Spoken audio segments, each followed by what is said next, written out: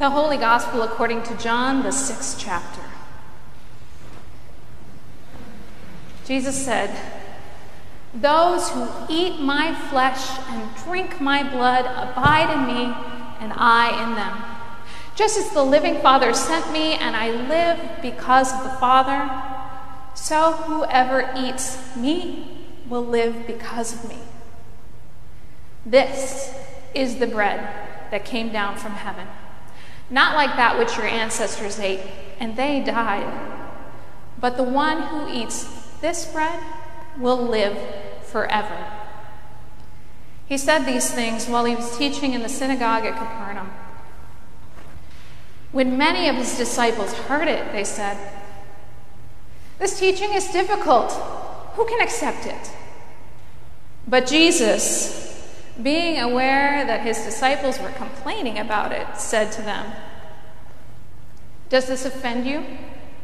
Then what if you were to see the Son of Man ascending to where he was before? It is the Spirit that gives life.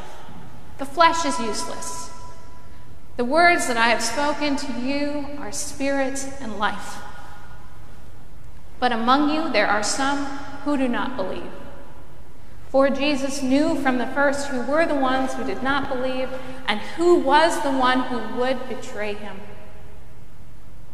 And he said, For this reason I have told you that no one can come to me unless it is granted by the Father.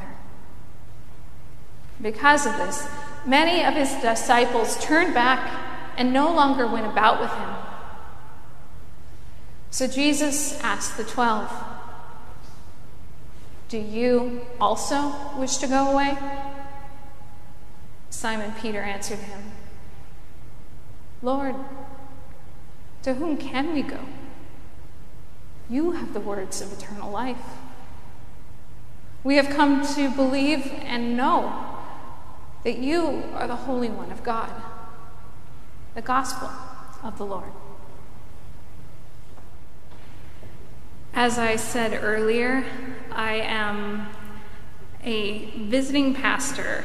I work for the Des Moines Area Religious Council, and through my role, I get to go to all kinds of different faith communities and share a message. And so, as a Lutheran, I have the opportunity to worship with Methodists, Presbyterians, Episcopalians, the UCC, Disciples of Christ, pretty much anyone who will have me. I like to say that I am a professional stranger. And sometimes maybe my ways could seem a little strange to the communities I visit. And I have to admit that sometimes your ways are a little strange to me too, um, because it's different. And as a Lutheran pastor, I don't usually choose my scriptures for preaching. You see, most Lutherans tend to preach whatever texts have been assigned for that Sunday through the Revised Common Lectionary, which is a three year cycle of scriptures used by Protestant churches all over the world. So, all over the world this Sunday, churches are hearing and preaching on the same texts. So, when I was invited to preach today here and asked to preach on how to have difficult conversations and asked to choose my scriptures, I chose the lectionary if I have a choice, I almost always choose the lectionary. But it's more than me just being a stuffy Lutheran. I am aware that I live in a world in which we consume we choose the media we consume.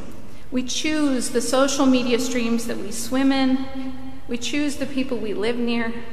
We choose the people we go to school with.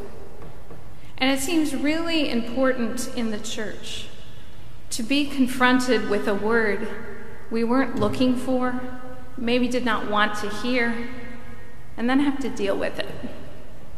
No mute button, no blocking, no changing the channel. And I'm always surprised, year after year, how these ancient scriptures speak to the moment at hand.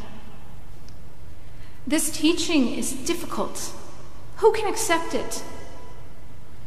In the moments before this passage, Jesus has been offending the crowd, telling them he must they must eat his flesh and drink his blood, saying it repeatedly, eight times in fact, using the Greek word trogo, that means messy, noisy, rude eating.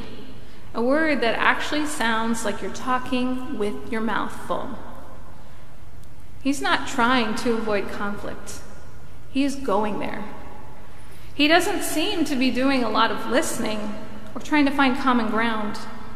There will be no agree to disagree, no both sides about any of this. And because of that, his disciples complain. Many of them turn back.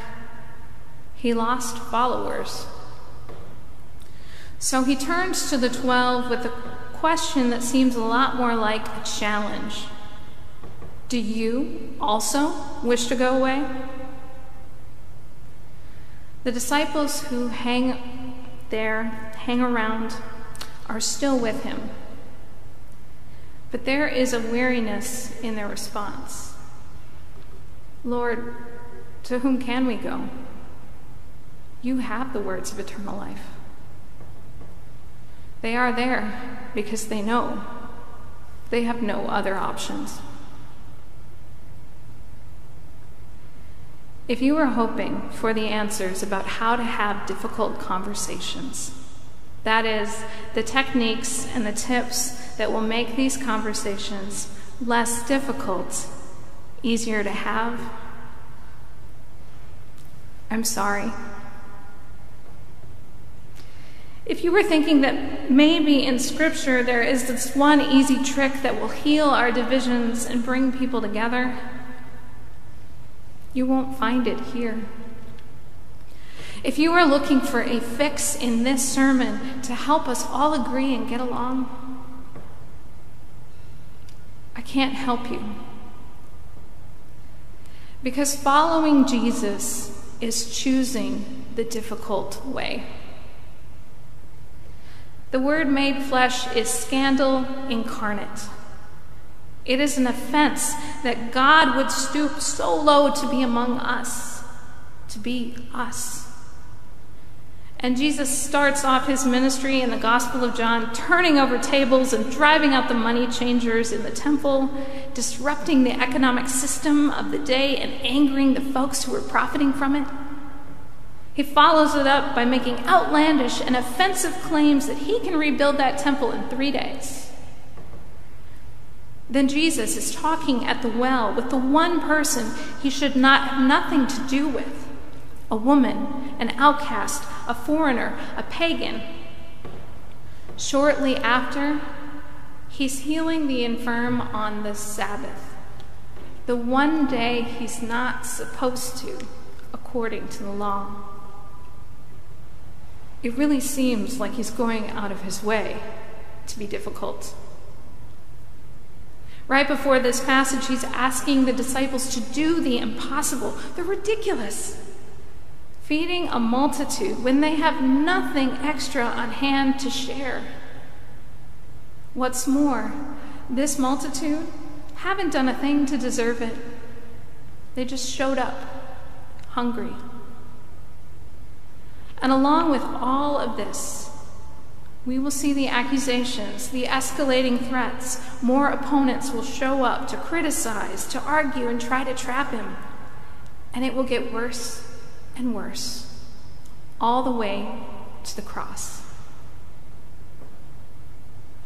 Do you also wish to go away? Honestly, I don't blame you if you feel like that sometimes. But when the words of eternal life have captured your heart, and the body and blood abide in you, and the peace of Christ, which knows no bounds, has reached you. And in the following of Jesus, you have caught a glimpse of the kingdom, the new life that is possible, that is promised. What else are we going to do? There is no other choice. but to keep going in the difficult way that Jesus leads us on. But in these difficulties, we are not meant to be alone. We are to have difficult conversations with Jesus, and we are to have them together as a community. To practice living in the difficult way together. To hear together what Jesus is saying and discern what it means for us and keep listening when He is calling us to do the difficult thing, the painful thing, that thing we would rather not do. To speak the truth together when it is easier, so much easier, to stay quiet. To claim Him together in the moments where it will cost us something and to correct and to forgive and to welcome back one another when we complain or even when we have turned away. That's bound to happen to every single one of us at some point. Having a community does not make it less difficult. Sometimes the community is the difficult part. But having a community does not make it less difficult to follow this difficult Jesus, to trust in his difficult teaching, and live by his difficult way. But this community makes each of us stronger for the task. And for this moment, that is enough to keep going. Amen.